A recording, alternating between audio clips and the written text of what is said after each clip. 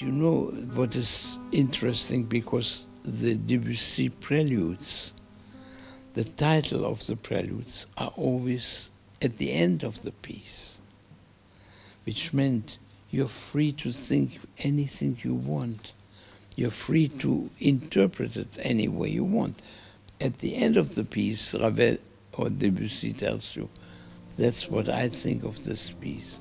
This is what I thought when I write it. Now I have the greatest luck to be able to be with him, look after him, listen to him playing, listen to him practicing this music, can you imagine?